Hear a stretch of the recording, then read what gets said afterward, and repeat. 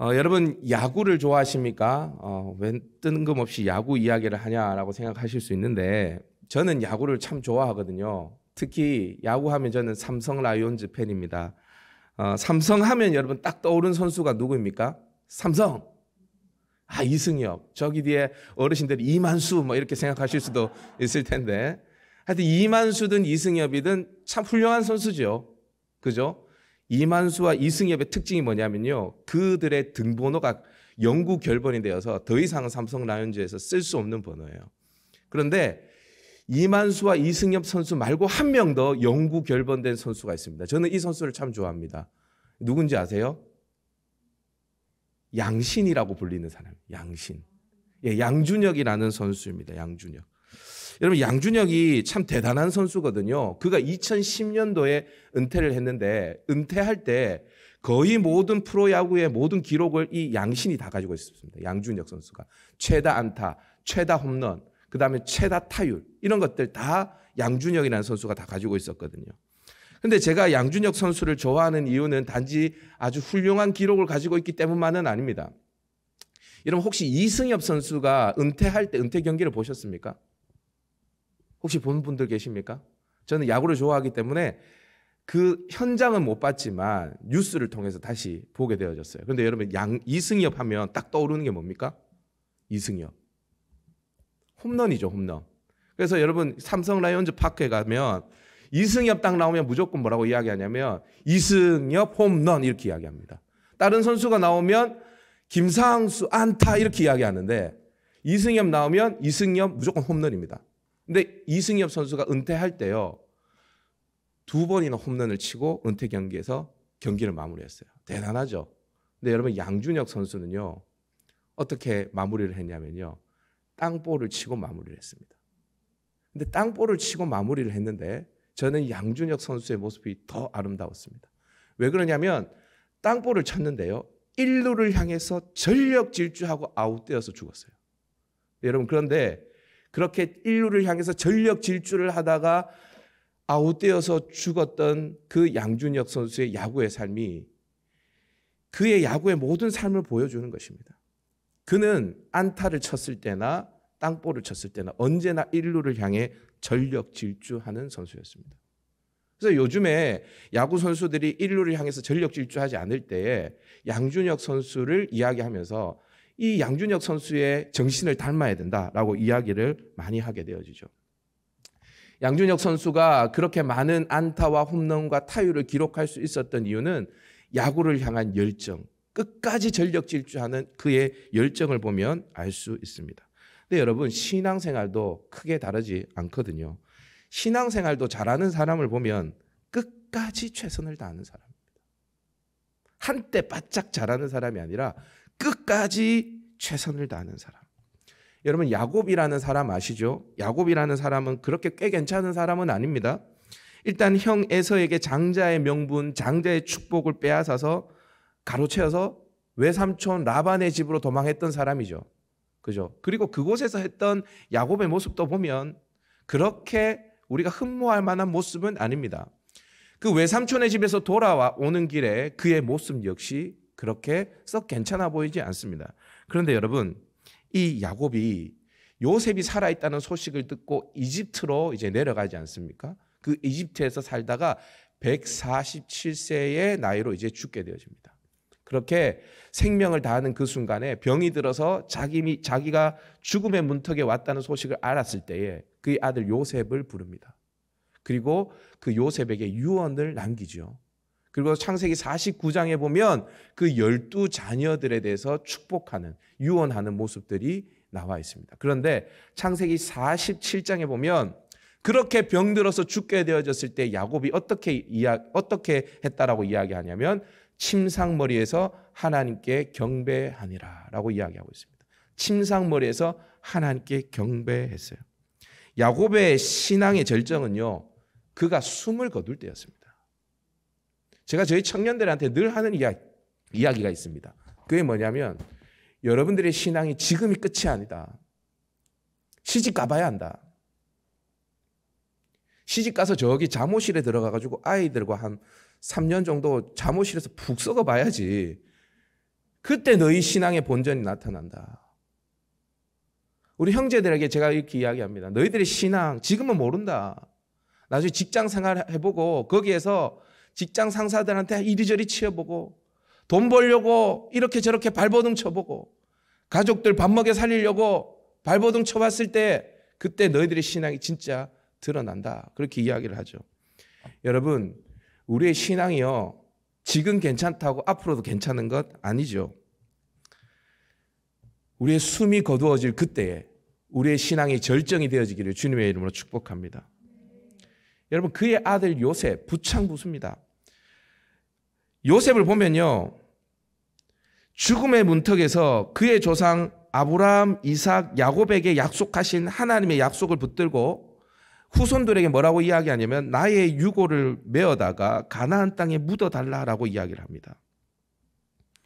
숨을 거둘 때까지 하나님의 약속을 붙들었던 참 신앙인 요셉이었습니다. 여러분 이스라엘의 지도자 모세도 한번 볼까요? 모세는 대단한 일들을 많이 했습니다.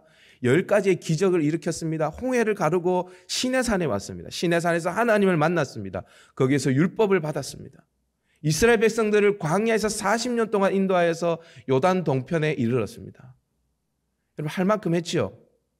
근데 여러분 그가 그 신앙의 마지막 순간에도 이스라엘 백성들에게 신명기라는 말씀을 써서 그들에게 하나님을 어떻게 섬겨야 하는지를 가르쳐 줍니다.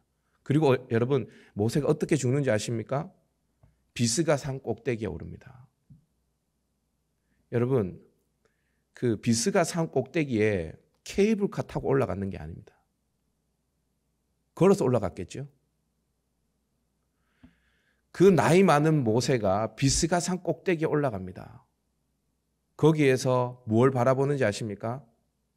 약속의 땅 가나안을 바라봅니다. 그렇게 가나안을 바라보고 거기에서 죽습니다. 끝까지 자기의 길을 사명을 다했던 사람 모세였습니다. 그의 지도자의 바톤을 누가 이어받습니까? 요수아가 이어받습니다. 요수아가 가나안 땅에 들어갑니다. 요수아와 쌍둥이로 늘 나오는 갈렙과 요수아는요.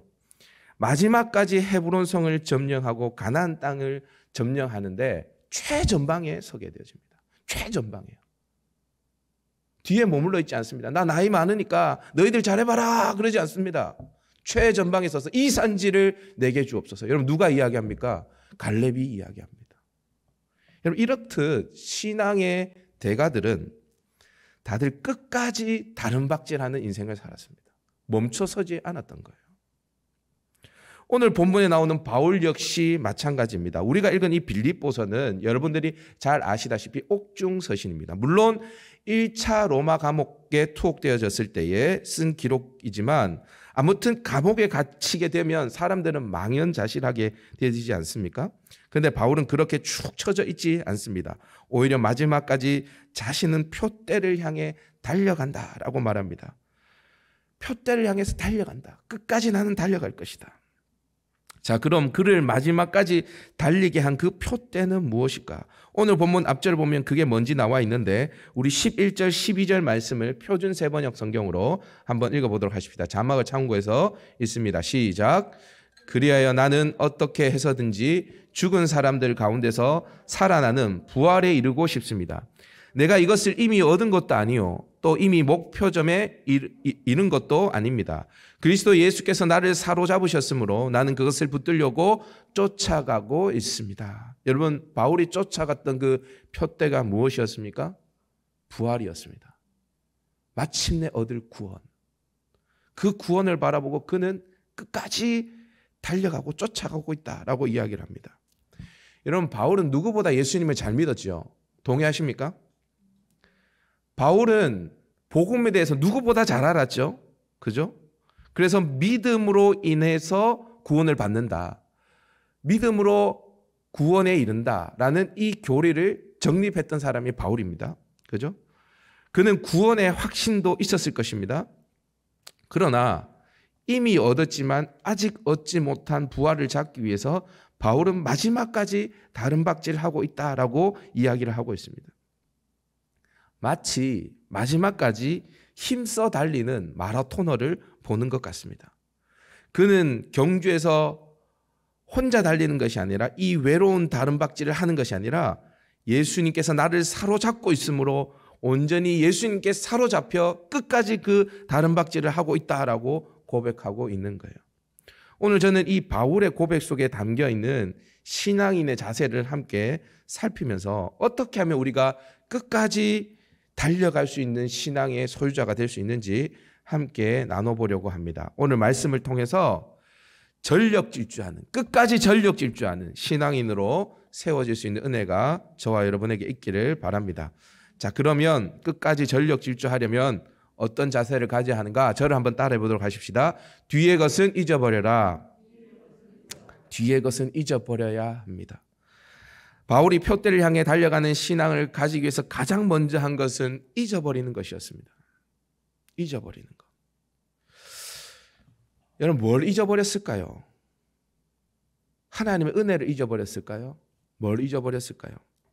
일단 바울은요.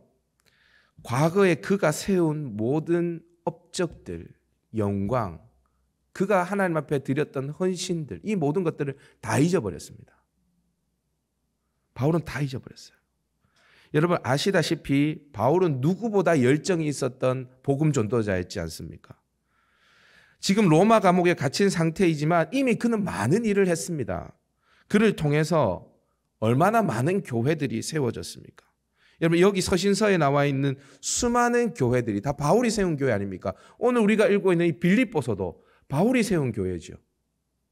바울이 세운 교회만 해도 엄청납니다. 그를 통해서 구원받은 사람들도 얼마나 많습니까? 디모데, 브리스길라, 아굴라, 아볼로, 신라, 디도, 오네시모와 같은 훌륭한 교회의 지도자들이 그를 통해서 세워졌습니다. 바울이 복음을 전하다가 전하기 위해서 다닌 그 거리만 해도 엄청나겠죠. 그가 복음을 전하다가 맞은 매만 해도 어마어마할 것입니다. 이 모든 것이 사실 바울의 헌신이죠. 그의 영광이었습니다. 여러분 이 정도 되어졌으면 여러분 한번 상상해 보십시오. 이제는 좀 대접을 받으면서 내가 복음 전도할 때 이런 이런 일이 있었고 이런 매를 맞았고 이렇게 돌에 맞았지만 하나님께서 이렇게 은혜를 주셨다라고 말하면서 간증 집회나 하고 돌아다녀도 되는 것 아닙니까? 제가 간증 집회를 하는 걸 폄하하는 건 아니지만 그렇게 남은 여생을 보내도 되는 것 아닙니까? 그렇게 해도 바울 할 만큼 한 것이죠. 근데 여러분, 바울은 지금 로마 감옥에 갇혀 있습니다. 그리고 그곳에서도 하나님의 나라에 대해서 증거하고 있어요. 끝까지 포기하지 않고 달려가고 있는 것입니다. 바울은 뒤의 것은 잊어버립니다. 자신이 행한 모든 헌신을 잊어버리겠다라고 이야기를 합니다. 제가 예전에 서서평이라는 영화를 본 적이 있습니다. 서서평이라는 한국 이름을 가진 선교사님의 원래 이름은 쉐핑이었습니다. 쉐핑. 쉐핑 선교사님의 일대기를 다룬 영화였어요.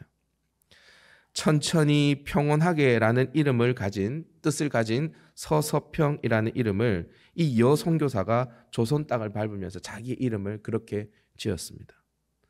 그녀는 당시에 천대받는 여성들. 여러분 그 당시 조선 시대 여성이라고 그러면 공부도 안 시키고 그죠? 정말 인간 취급을 못 받았잖아요. 제가 그때 사진들과 영상을 보니까 그 조선시대 여인들의 비참하더라고요, 여러분. 정말 비참해요. 아무도 돌보지 않았어요. 그런 여성들을 자기 딸로 입양을 합니다. 이 쉐핑 선교사님이. 그래서 이, 이, 이 여학생들에게 공부를 가르쳐서 의사를 만들고 간호사를 만들어요. 정말 대단한 선교사님이죠. 여성 복음화에 최선을 다했습니다. 그가 돌아가실 때 수많은 여성들이요. 이 셰핑 선교사님, 서서평 선교사님의 딸이라고 그, 그 선교사님의 장례를 치러주는데 얼마나 성대하게 치러주는지 모릅니다. 얼마나 열심히 사역했든지 이 선교사님은 자신의 몸을 돌볼 여가가 없었죠. 그가 병들어 죽었을 때 여러분 병명이 뭔지 아십니까? 영양실조입니다. 영양실조. 근데 여러분 정말 제가 그 그걸 보면서 그 영화를 보면서 마음이 짠했던 거는요. 그 영양실조에 걸린 그 선교사님 집에 돌아가신 그 선교사님 집에 가봤더니 담요 반쪽과 쌀 한 주먹 외에는 아무것도 없었대요. 다 나눠준 거죠, 다. 다 나눠준 겁니다. 여러분, 이만큼 하면 할 만큼 한 것이죠. 할 만큼 한 것 아닙니까? 잘 사는 나라에서 이 조선이라는 나라에 와가지고 이 정도 했으면 할 만큼 했죠. 그런데요, 그가 병들어 죽음 앞에 있을 때에 동료 선교사님들이 건강 걱정을 하면서 빨리 고국으로 돌아가서 좀 몸을 돌보라고 권면을 했대요. 근데 이 선교사님은 내가 이 조선을 위해서 이 아이들을 위해서 해준 것이 없는데 어떻게 돌아갈 수 있냐고 끝까지 그 자리를 지켰다라고 합니다. 그렇게 영양실조로 자신의 삶을 다 내어줬죠. 여러분 그런데 아무것도 한 것이 없는 것이 아니죠. 자신의 삶 전체를 주었죠. 그런데 서서평 선교사님이 아무것도 해준 것이 없다라고 고백하는 그 고백은 진실한 고백일까요? 거짓된 고백일까요? 진실한 고백입니다. 왜 그러냐면 자신이 조선 땅을 위해서 내놓았던 그 모든 헌신을 새까맣게 잊어버렸기 때문입니다. 생각을 하고 있지 않는 거예요. 그래서 끝까지 달려갈 수 있었던 겁니다. 여러분 요한복음 13장 1절을 보면 6월절에 예수께서 자기가 세상을 떠나 아버지께로 돌아가실 때가 이른 줄 아시고 세상에 있는 자기의 사람들을 사랑하시되 끝까지 사랑하시니라라고 이야기합니다. 여러분 예수님은 이미 자기 사람들 제자들을 사랑하셨습니다. 그죠? 끝까지 사랑하셨어요. 그런데 예수님께서 십자가를 지시고 자신의 피와 물을 다 쏟으실 때에도 예수님은 자신이 쏟아부은 사랑을 다 잊어버리던 거예요. 다 잊어버리고 끝까지 자기의 백성을 사랑하신 겁니다. 바울이 그렇게 교회와 영혼들을 향해서 쏟아부었던 자신의 모든 헌신과 영광을 잊어버렸기 때문에 그렇게 끝까지 달려갈 수 있었던 거죠.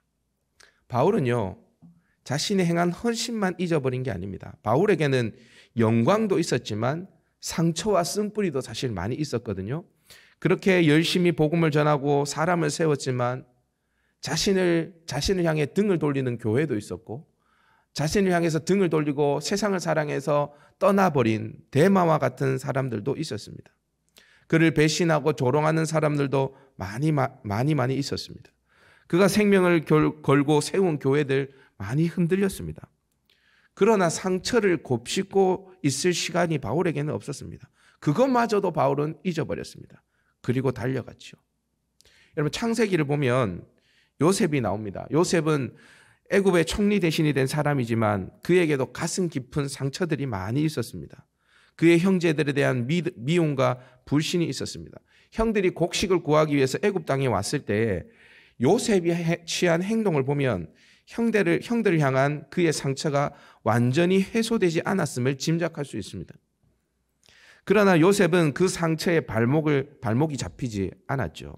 그리고 형들을 용서합니다. 그래서 요셉을 통해서 야곱의 가족들이 다 애굽으로 내려올 수 있었고 고센 땅이라는 곳에서 큰 민족을 이룰 수 있었습니다. 만약에 요셉이 자신의 상처에 갇혀 있었다면 하나님의 구원 사역을 이루는데 도구로 쓰임 받지 못했을 것입니다. 여러분 제가 지금 무슨 이야기를 합니까? 그것이 영광이든 상처든 상관없이 우리가 하나님 앞에 전력 질주하는데 방해되는 것이 있다면 그것은 다 잊어버려야 됩니다. 다 잊어버려야 됩니다. 하나님의 사명을 향해서 하나님이 우리에게 주신 사명을 향해서 끝까지 달려가기 위해서 뒷일을 잊어버려야 됩니다. 얼마나 많은 사람들이 뒷일에 발목이 잡혀가지고 나 이만큼 했는데 나 이런 아픔이 있는데 거기에 발목이 잡혀서 앞으로 달려가지 못하는 줄 모릅니다. 여러분 우리는 2022년 새해를 살아갑니다. 지금까지 달려오면서 저와 여러분에게도 영광도 있고 상처도 있겠죠. 그렇죠. 하나님 나라를 위해서 헌신한 것도 있고 헌신하다가 받은 상처도 있을 겁니다. 여러분 거기에 매여 있으면요. 앞으로 달려가지를 못합니다. 얼마나 많은 사람들이 거기에 딱 갇혀서 있는지 몰라요.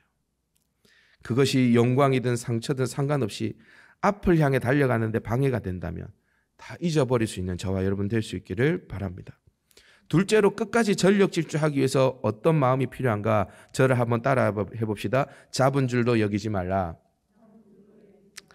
이런 바울이 표대를 향해서 달려갈 수 있었던 이유는 아직 부활을 얻지 못했다는 긴장감 때문이었습니다. 아직 구원을 얻지 못했다는 긴장감. 여러분 앞에서도 말씀드렸지만 바울은 누구보다 복음을 잘 알았고 믿음으로 구원에 이른다는 사실을 너무나 잘 알았던 사람입니다. 그것을 믿고 있었던 사람입니다. 바울에게는 분명한 믿음이 있었습니다.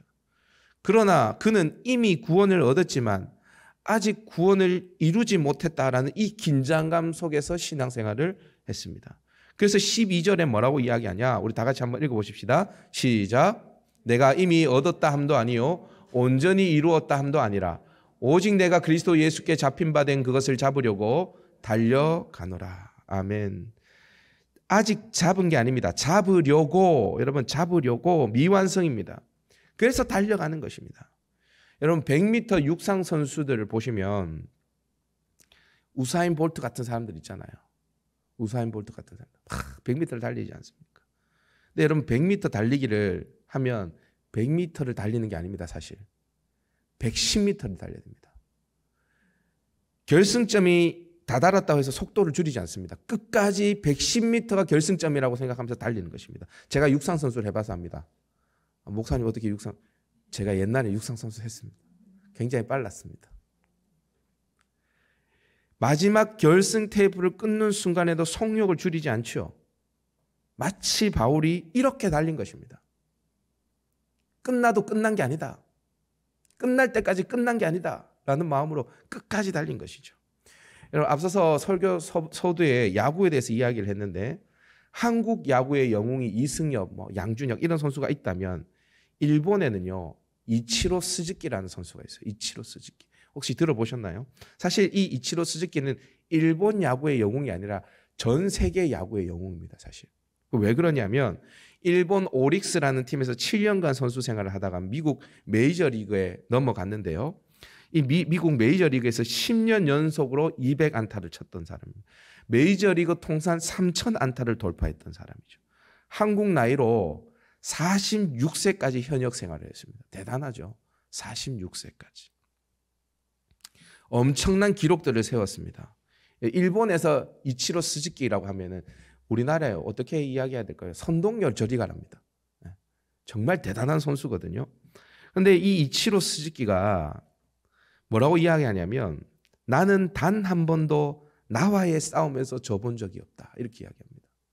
여러분 보통 야구 경기가 끝나면 이제 뭐 이기든 지든 숙소로 돌아가거나 또 이제 가정으로 돌아가지 않습니까?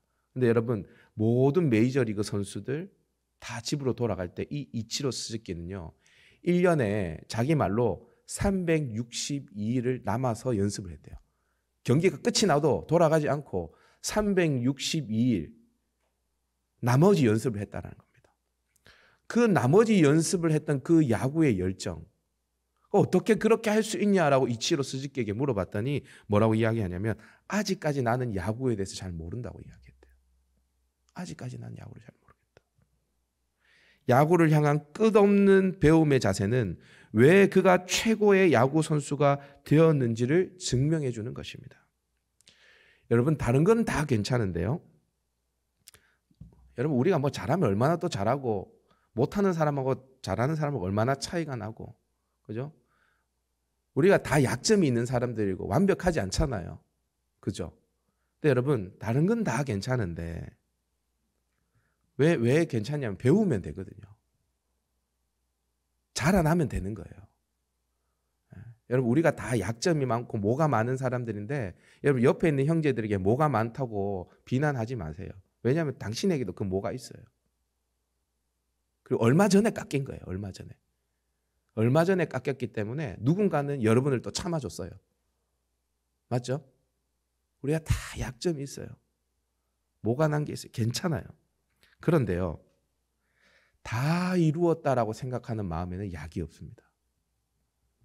이제 나는 됐다. 다 됐다. 이제 나는 됐다. 거기에는 약이 없습니다. 바리새인이 그랬고요. 사두개인들이 그랬습니다. 그들이 왜 예수님을 대적하고 복음을 받아들이지 않았는가? 자기들은 창기와 세리와 같지 않은 존재거든요.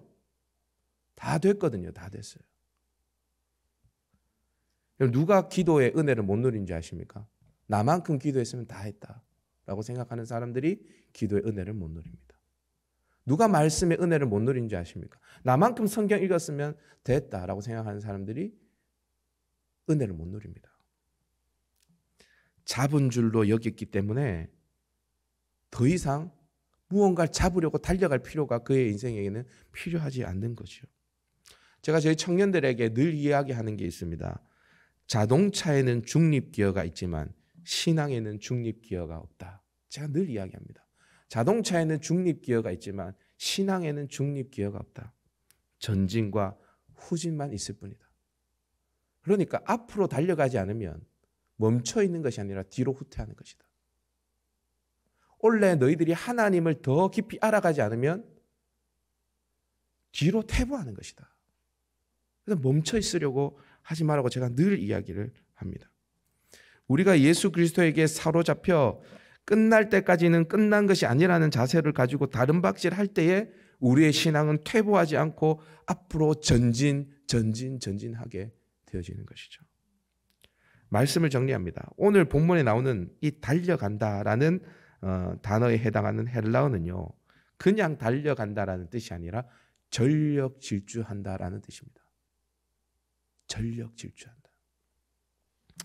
여러분 암을 극복하고 사이클 선수로는 최고 많은 금메달을 딴 루이 암스트롱을 여러분 혹시 아십니까? 이 암스트롱은 경기를 할 때마다 다리 털을 다 밀었다고 합니다. 왜냐하면 사이클을 탈 때 그 다리 털 한 올이라도 방해가 되어지지 않기 위해서 전력 질주하기 위해서 그 다리 털을 다 밀었대요. 대단하지 않습니까, 여러분? 육상 선수들이 경기에 앞서서 물이나 음식을 잘 먹지 않습니다. 열량이 높은 초콜릿 같은 거 한 조각 먹고 달립니다. 왜 그런지 아십니까? 마지막까지 전력 질주하기 위해서입니다. 우리의 신앙도 이렇게 호흡이 멈추는 그날까지 전력 질주해야 합니다. 그러기 위해서 방해가 되어지는 모든 것들을 제거해야 합니다. 우선은 뒤에 있는 것을 잊어버려야 합니다. 그것이 영광이든 상처든 마지막까지 달려가는데 방해가 된다면 가감없이 잊어버려야 합니다. 그리고 부름의 상을 잡은 줄로 여기지 않아야 합니다. 이만하면 됐다. 나는 문제 없다. 다 이루었다. 이런 모든 생각들을 다 버리고 마지막까지 전력 질주할 수 있는 저와 여러분 될 수 있기를 바랍니다. 그러면 우리도 바울처럼 끝까지 하나님의 나라의 복음을 증거하다가 그렇게 호흡이 멈춰질 수 있을 것입니다. 우리도 야곱처럼 침상머리에서 하나님께 경배하며 우리의 인생을 마무리할 수 있을 것입니다. 저와 여러분의 삶이 얼마나 우리가 더 살 수 있을지 모르지만 주님 보시기에 끝까지 달려와서 우리의 땀 냄새가 주님의 품에 안겼을 때 고스란히 주님의 주님에게 전달되어지는 그런 은혜가 저와 여러분에게 있기를 주님의 이름으로 축복합니다.